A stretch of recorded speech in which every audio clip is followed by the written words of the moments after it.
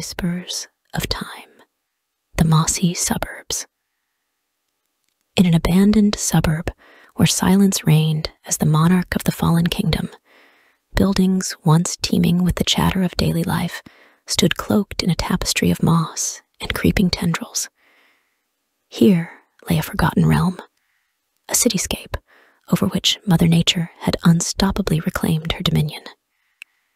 Each structure bore the weight of emerald blankets, not just moss, but the memories of centuries draped over man made skeletons.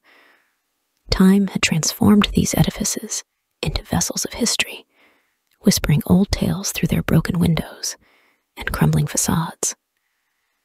The suburb streets, which once echoed with the footsteps of commuters and playful children, were now silent, save for the rustling leaves and the occasional chime of a bifurcated wind chime hanging from a deserted balcony. The pavements were labyrinths of greenery. Each crack and crevice nurtured the life of vibrant flora that bloomed with a vigor that juxtaposed the stillness of their surroundings. Half veiled by climbing ivy, one house seemed to beckon with a spectral finger.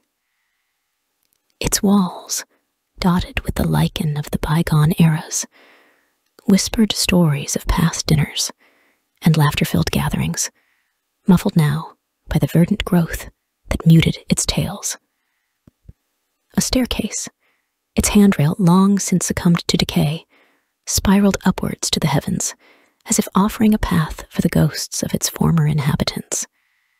Peering through what remained of a paneless window, one could see an interior stripped of its grandeur.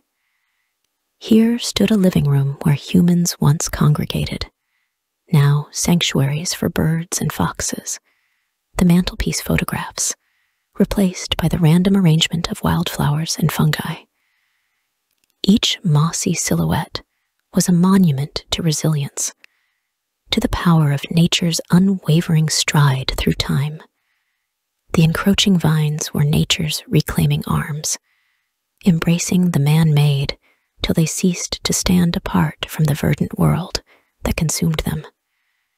Broken shards of glass lay scattered like diamonds in the dust, reflecting the interplay of shadow and light as the day trekked across the sky, indifferent to the entropy beneath.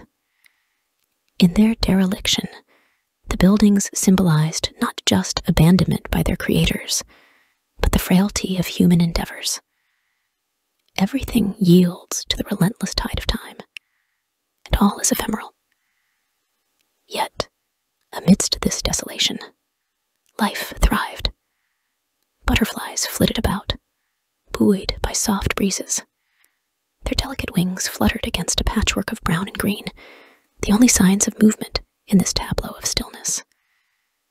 Here, a family of saplings had sprouted atop a roof, each root delving into mortar like veins of life, drawing nourishment from the ruins.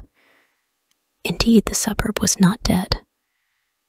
As the gentle hum of the wind traveled through the remains, the message was clear.